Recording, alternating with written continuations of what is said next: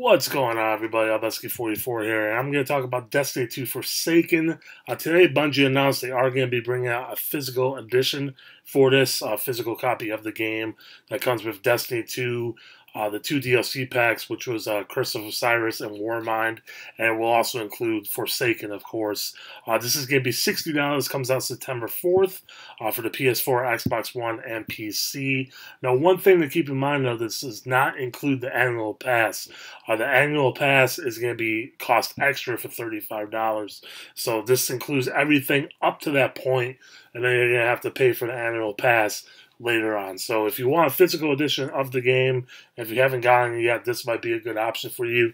See if you like it, see if it's something that you want, and then you can pay that $35 later on. But yeah, just wanted to make sure you guys know that the Legendary Collection does not include the pass. It just includes the DLC up to this point, as well as Forsaken. Uh, Forsaken looks badass. I'm super excited to play it. Uh, I already have it pre-ordered. But yeah, physical copy coming out. Let me know in the comments below what you guys think about this, if you guys are going to be picking up, and for what system. You guys know I'm on PS4. Hit me up on Twitter, LBEDZKI44, as well as Twitch, LBEDZKI44. We'll talk to you all later. Peace.